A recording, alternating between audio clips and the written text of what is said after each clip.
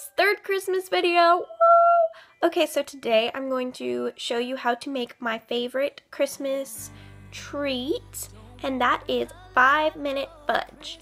Um, it's really easy, really cheap to make, and it's delicious. Okay, so let's get started. So to start, you just need chocolate frosting, and I used about two spoonfuls, and equal parts chocolate frosting and these yummy um, chocolate chips.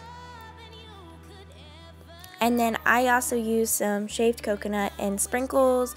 Um, that's optional, but I just think it tastes better. So basically, you get the two spoonfuls or however much chocolate frosting. You can use a whole jar if you want. And just put them in the bowl. And then you stick your chocolate chips in. Remember, equal parts, so if you need to measure, make sure you measure. And you can really do this with any flavor, I think. Mix it all together.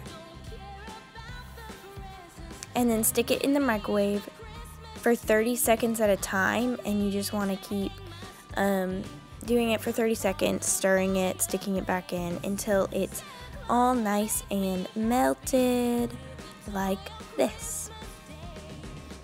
Don't burn it though. And then you'll need a cookie sheet with parchment paper on it. And just stir your chocolate stuff one more time and then spread it onto your cookie sheet. And really, you could do this with any flavor. So you could have um, peanut butter chocolate chips and chocolate frosting, or um, white chocolate and you know funfetti frosting. Whatever you want to do, you could really do any flavor of fudge with this. That's why it's so great. So just make sure you get it all. It's kind of hard to get out of the bowl, trust me. And then you just spread it out however thick or thin you want. I did it pretty thin because it's really rich, so you don't really want that big of a hunk of fudge. And then, of course, we have to put the little decorative and delicious stuff like the coconut shavings, which I put on half because I knew my family doesn't like it, but I do. Yum coconut. And then I also put some sprinkles on the other half because it's really, really cute. Well, not the other half, the other like fourth of it. Because it's really adorable.